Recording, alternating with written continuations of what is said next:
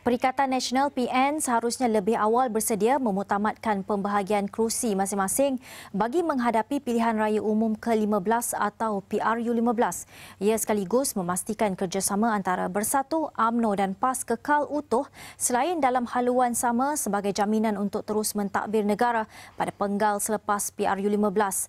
Bagi mengulas isu berkenaan, Pengarah Pusat Pengajian Perang Saraf Media dan Informasi Fakulti Komunikasi dan Pengajian Media UiTM Shah Alam, Profesor Datuk Dr. Ismail Suaman. Assalamualaikum, Prof. Waalaikumsalam warahmatullahi wabarakatuh. Prof, apakah uh, mungkin formula terbaik pembahagian kerusi untuk PN menjelang PRU 15 nanti? Okey, semua berkata bahawa untuk kita menang kita ada satu strategi yang perlu dibuat dan kerjasama secara konsensus dalam kalangan komponen ataupun dalam gabungan mana-mana parti politik saya fikir untuk menentukan uh, bagaimana pembahagian uh, undi itu dia tidak hanya berdasarkan kepada perbincangan meja bulat dalam kalangan presiden-presiden ataupun pemimpin-pemimpin utama tapi juga perlu dikuatkan dengan kajian tinjauan pendapat umum ataupun kajian sikap yang sepatutnya dilakukan uh, di semua kursi-kursi yang berkenaan sebagai contoh katakan uh, kerusi A uh, dulunya adalah kawasan UMNO tapi uh, pada kali ini ada dua tiga parti di situ yang juga bertanding dalam satu gabungan di bawah PA contohnya di situ juga ada orang uh, bersatu, ada orang PAS, ada pemimpin dan juga ahli-ahli UMNO yang ada. Jadi bagaimanapun sepatutnya uh, satu tinjauan atau survey perlu dibuat dulu. Baru kita dapat uh, dapat mengenal pasti betul-betul itu kehendak pengundi. Dia tidak boleh hanya ditentukan oleh pemimpin. Sebab takuti nanti jika pemimpin saja yang betul-betul sangat um, ingin menentukan siapa yang menjadi uh, calon tapi bukan kehendak rakyat atau kehendak pengundi mungkin uh, PH akan kalah. Jadi itu sebabnya saya ingin mencadangkan bahawa cara yang terbaik dan profesional yang patut dilakukan adalah dengan menjalankan tinjauan ataupun kajian survey sikap siapakah parti manakah yang patut uh, bertanding pada satu-satu kawasan parlimen ataupun DUN. Prof, uh, kita sedia maklum ada kerusi yang bertindih milik AMNO, PAS atau Bersatu sebelum ini. Bagaimana mhm. rundingan uh-huh. atau cara tolak ansur terbaik dalam memastikan keharmonian PN agar tidak tegang dalam isu berkenaan?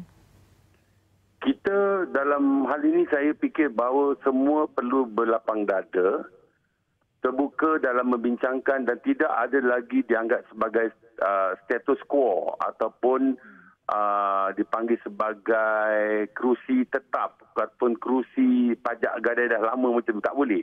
Dia perlu ada pembikinan baru, ada perbincangan baru sebab ini normal baru dalam politik. Dahulunya uh, PAS, AMNO dan Bersatu uh, tidak dalam satu uh, apa ni uh, kapal. Tapi sekarang ni berada dalam satu bahtera untuk menang. Jadi di situ saya fikir bahawa perlu ada pengorbanan di mana-mana pihak.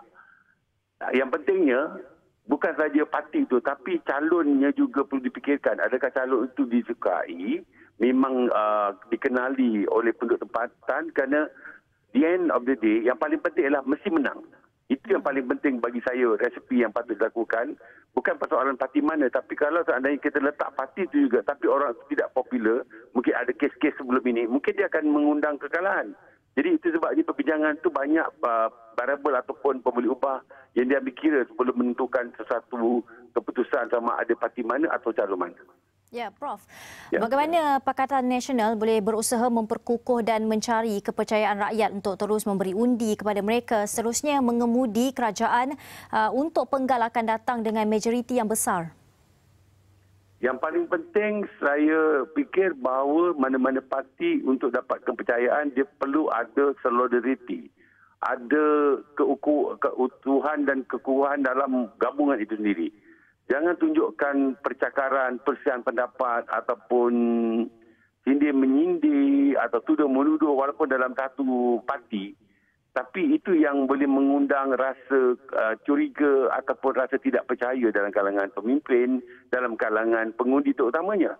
Sebabnya mereka perlu menjaga imej, reputasi uh, parti PS ini supaya betul-betul uh, dekat dengan hati rakyat selain daripada track record yang perlu dilakukan sebagai contoh saya lihat bila adanya kes covid ni uh, kerajaan PA sekarang ni telah pun dapat menangani dengan uh, PN sekarang ni dapat menangani uh, satu yang terbaik untuk rakyat, kesihatan rakyat. Saya fikir itu juga dah boleh menjadi satu uh, tiket lah uh, kepada uh, kata orang sokongan terhadap uh, parti uh, Perikatan uh, Nasional ini.